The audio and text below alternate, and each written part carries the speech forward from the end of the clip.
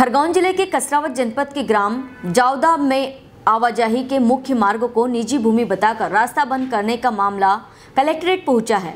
ग्रामीणों ने कलेक्टर के नाम आवेदन सौंपकर समस्या से निजात की मांग की है। ग्रामीणों ने बताया कि पूर्वजों के समय से कसरावत रोड स्थित ग्राम जामला में आवाजाही कर रहे हैं। इसी मार्ग से होकर बच्चे स्कूल, कॉलेज जाते हैं। वर्तमान में इस मार्ग पर कटीली झाड़ियाँ आदि रखकर ग्राम के सुरेश गुलाब सिंह ने रास्ता बंद कर दिया है। यह मार्ग सार्वजनिक होकर लोग वर्षों से इसका इस्तेमाल कर रहे हैं। ऐसे में मार्ग बंद करने से गाँव में आना जाना बंद हो गया है। विवाद की स्थिति निर्मित हो रही है। ग्रामीणों ने कलेक्टर से रास्ता खुलवाने की मांग की है। खरगोन से जयंत गुप्ता की रिपोर्ट। सर, हम ये ग्राम जावदा, सैलानी में पंचायत ग्राम जावदा से हैं। और हमारी परेशानी ये है सर कि रास्ता साल भर से रोके जा रहा है। वो हरे भरे पेड़ जो भी है, रास्ते के साइड से उनको मेरी निजी ज़मीन समझ कर रास्ते पे डाल रहा है।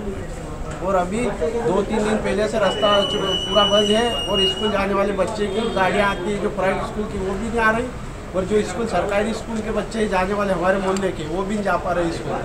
और उसकी जो मोटर पंप का पाइप लगा दिया रास्ते पे तो पूरे रास्ते में पानी गया तो क्या कहना क्या पड़ता हूँ? सर हमको तो इससे निराकरण चाहिए कि हमारा रास्ता खुल जाए और चालू हो जाए। नहीं तो क्या ज़मीन उसकी है रास्ता? सर वो बता रहा हमको तो सर नहीं पता है कहीं नहीं वो पटवारी वो दोनों आते हैं बात कर लेते हैं कि ज़मीन इसकी पट्टी की क्या है पर हमको तो समाधान चाहिए ना। तहसील में गए तहसीलदार साहब आए बोल के एक बार रास्ता खुलवा।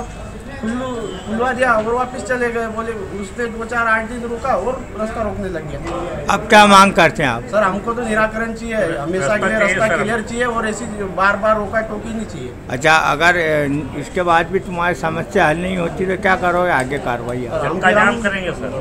आंदोलन करेंगे हम। क्या नाम है आपका? नवीन वास्कर। ग्राम पंचायत सैलानी के ग्राम जावदा से आए। हैं। ग्राम जावदा का जो मुख्य मार्ग है उसको सुरेश गुलाबचंद ने अपनी निजी ज़मीन बना बताकर उस पर रास्ता रोक दिया। क्या पेड़ वगैरह भी काटे? वहाँ पेड़ काट के आड़ा कर दिया है और पत्थर बागड़ लगा तो कितने साल पुराना रोड है? रोड तो कम से कम सौ साल पुराना है। तो क्या क्या परेशानी आ रही है आपको अभी?